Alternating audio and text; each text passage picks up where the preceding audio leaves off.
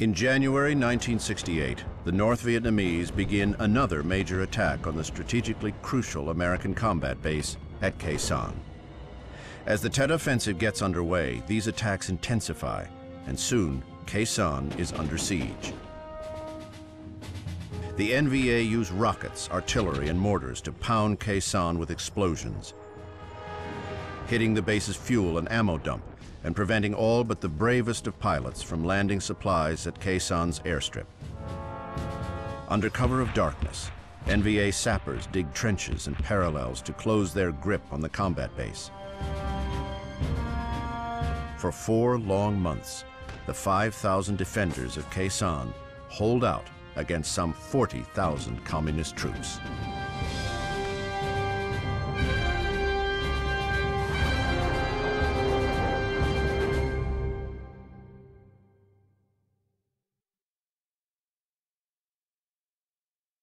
Captain Dandridge, I know you're heading back to Sanh tomorrow and that conditions there are getting brutal.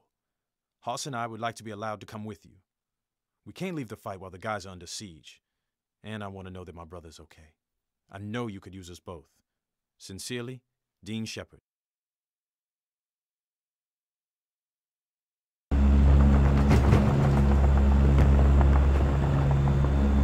All right, men, we're approaching the airstrip. We can expect heavy fire. Charles has mortars and rockets positioned in the surrounding hills. They fire on the strip every time a plane approaches. If you've never prayed before, Shep, this might be a good time. Our Father who art in heaven, hallowed Be thy be thy advised, this plane will not stop when we land. When the cargo hatch opens and the plane slows down, we will offload out the back. Watch your footing and watch the man in front of you. When you hit the ground, run to your left toward the trenches. We will be under heavy fire. Good luck, and I'll see you on the ground. Shit, what was that? That's just the landing gear.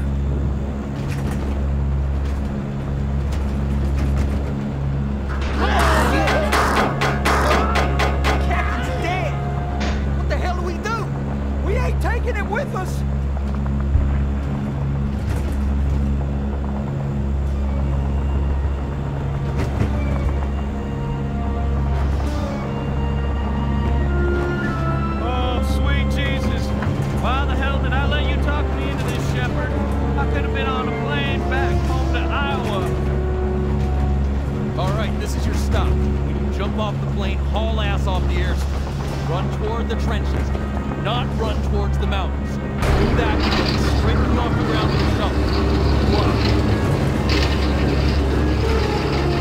Gotta get the hell out of here!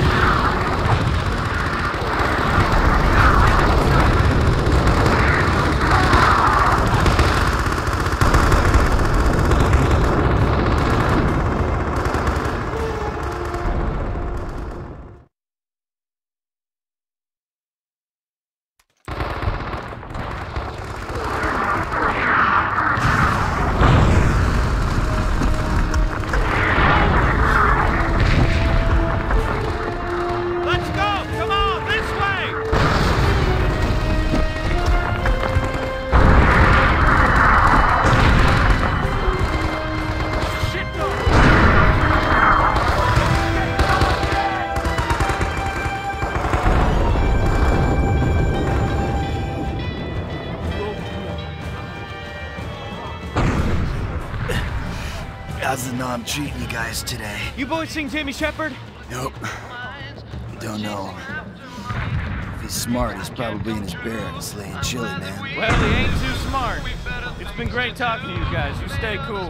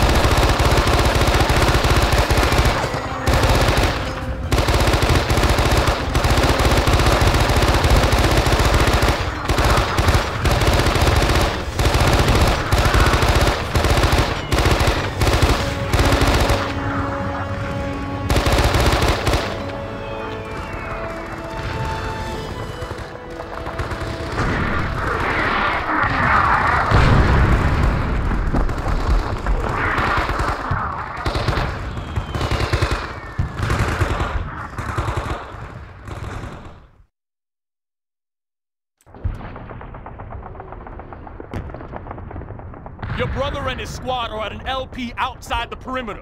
They're being overrun. They just called in an arc light on their own position. Holy shit, we gotta get to them and pull them out before those bombs drop. Negative. Those men are gonna have to ride this one out. Sir, we're going for them. Maybe we can get them out of there before those B-52s come in. Oh, hell! Okay, follow me! Gotta push in there.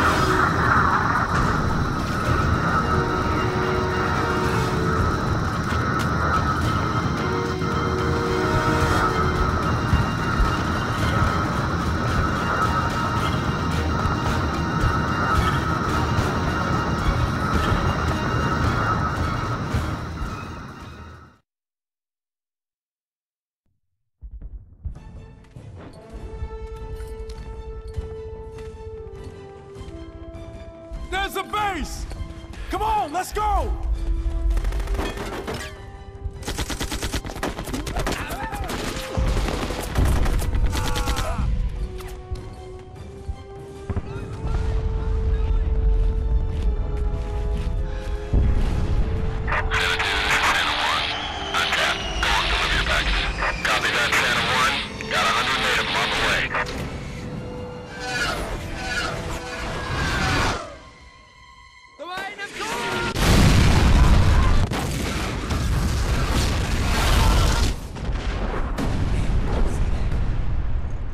Hang in there, Jamie. We'll get you patched up in no time.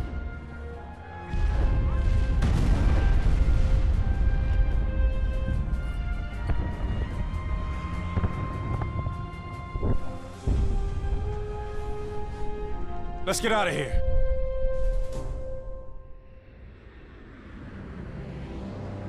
Hoss and I caught our Freedom Bird out of Sanh two days later.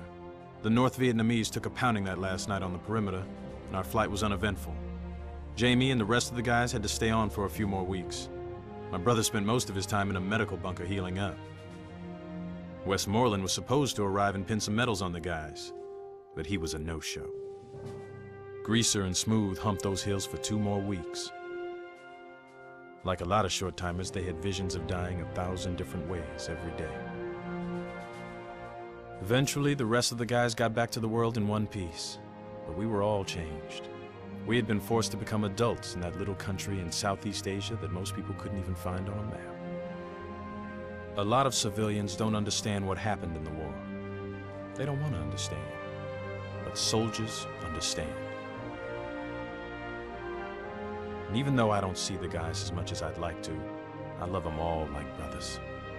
I know that no matter how much time and distance comes between us, these guys will always be there for me.